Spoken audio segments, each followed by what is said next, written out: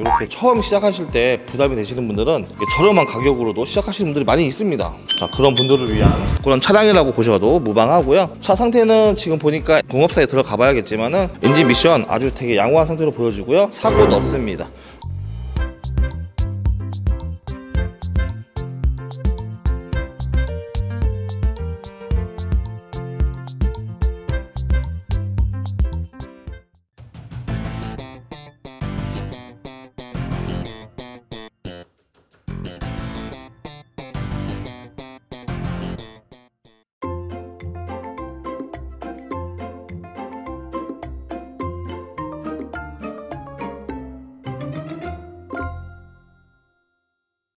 자, 이 차량은 18년식이고 주행거리가 조금 된 걸로 알고 있거든요.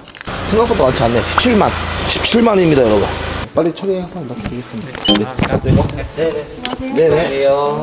자, 여러분. 자, 여기 세정에서 여기 1톤 영업용 넘버 달려있는 차량도 매입을 완료했습니다. 자, 이 차량은 연식은 18년식, 주행거리는 17만 킬로로 조금 주행거리가 좀 높긴 하지만 대신에 금액은 좀 저렴하죠. 사실 보면은 이런 차들이 뭐 어떻게 보면 잘 안 팔릴 것 같지만은 이렇게 처음 시작하실 때 부담이 되시는 분들은 저렴한 가격으로도 시작하시는 분들이 많이 있습니다. 자, 그런 분들을 위한 그런 차량이라고 보셔도 무방하고요. 차 상태는 지금 보니까 공업사에 들어가 봐야겠지만은 엔진 미션 아주 되게 양호한 상태로 보여지고요. 사고도 없습니다.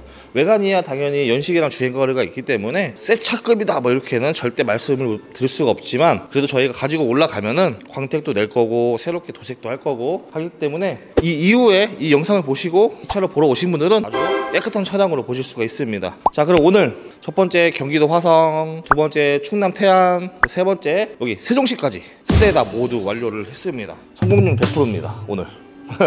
영상이 좀 길어질 걸로 보여지는데요. 자, 그래도 긴 영상 시청해 주셔서 감사합니다. 1톤 영업용 넘버 달려있는 차량들 관심, 뭐 궁금하신 거 있으시면 언제든지 연락 주시면 감사하겠습니다. 자, 오늘 바로도 안녕히 계세요.